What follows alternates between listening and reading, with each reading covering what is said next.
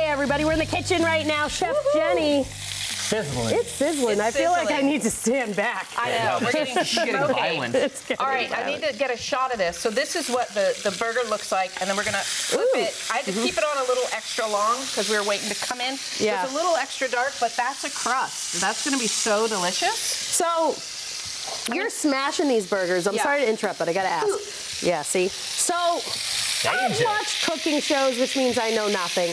Yeah. But they say you shouldn't smash the meat because then you lose the flavor. So, Okay, how so- are you keeping the flavor in? So that's true if the meat has already cooked. Like you notice I didn't smash this side. Yes. So when you when you put the meat the the meat the ground beef onto a pan, this does not apply to a grill. Squish it down and it's going to create that crust, and Mm. that crust is going to hold the juices and the flavors in. So, if I want to smash it, I gotta do it early. You have to do it first thing. Yeah. You don't do it mid mid. Mid cook. Oh, so okay. Smash early. Yeah. Yes, early Okay. smash. So here, there are a couple of um, tricks to really good burgers Love or tricks, all right. tricks or uh, Tricks uh, of the sliders. Put in one of these packets, beefy onion or just onion, just the soup mix, into two pounds of ground beef, turkey, chicken, whatever Okay. you're doing. And then you don't need salt or anything, and that's like soup. Oh, that's good. soup's delicious. Smash it. Whoop, whoop, whoop. Smash it, and then only smash it once. And if you make the sound effect, whoop, whoop, whoop, it actually makes it a little bit better, yeah. Yeah. Now, and also using the right meat. The the best meat is 80-20, which means 80% lean, 20% fat. Can I eat That's what you always do. use. Okay. Yeah, for burgers, it's a lot of fat, but that's where the flavor is. What if I want to do a combo? What does that mean? Like add pork or add some other meat, you know? Sure. I mean, if you're weird, go ahead, do that.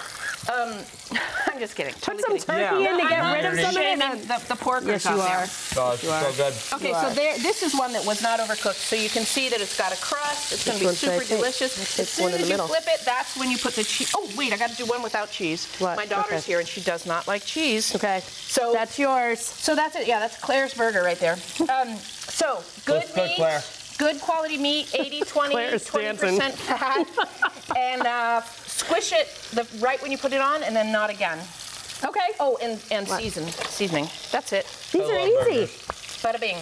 All right, Is it's it game good? day. This is perfect Yeah, for today perfect too. to, you know, it's to perfect. have out at the game or to Yeah. have while you're watching the game. You know, mm-hmm. just little, because then you, you you're satiated. You've had this yummy burger, but you're not like so full because you had a big, huge half pound burger. Mm, it's good. Anytime I can get a burger before 10 a.m., oh, thank you. Well, let me stand back. Breakfast burger. Well, mm-hmm. it's going to be a great day to grill outside, mm-hmm. but you gotta stay hydrated. It is a hot, hot, hot one. We're talking about a high of 93 degrees. Oh, This is going to be the hottest home opener in Panthers history, dating back to 1995. A few more clouds possible in the afternoon. Winds barely blowing, meaning that's not really going to cool you off all that much through the day. Your seven-day forecast, well, we're either at 90 to 94 degrees. The day is a, day, a good day for dancing. Get outside and enjoy. Better chance for an isolated thunderstorm come Tuesday and beyond. All right, well, that's all the time we have for NBC Charlotte. Come now. We have dancers. People are literally for days. dancing This is one daughter. for sliders. Go Panthers! Right. It's your birthday! I'm not dancing.